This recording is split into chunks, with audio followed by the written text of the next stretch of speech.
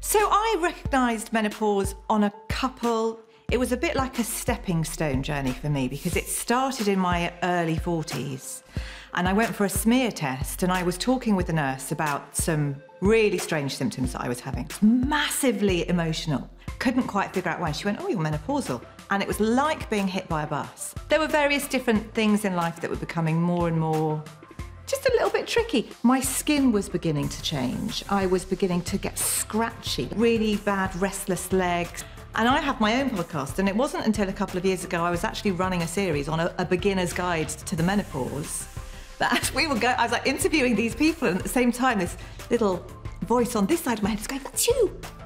So when I first spoke to my menopause specialist, we kind of talked through everything to make sure that I really understood what was going on in my body.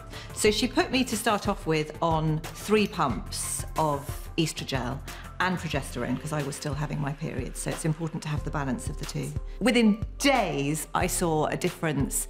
Oh, I saw, I felt a difference both in my joints the other thing that changed quickly was my skin. It was getting thinner. Having then gone on HRT and seeing some of that go backwards, I could see kind of which bit of it was menopause and which bit was just aging. And then a few months later, we went on to testosterone to address the other side of my menopausal symptoms, which were more around memory loss. And I was finding like on air at QVC, I'd forget what I was saying mid sentence, which I have never done in my life.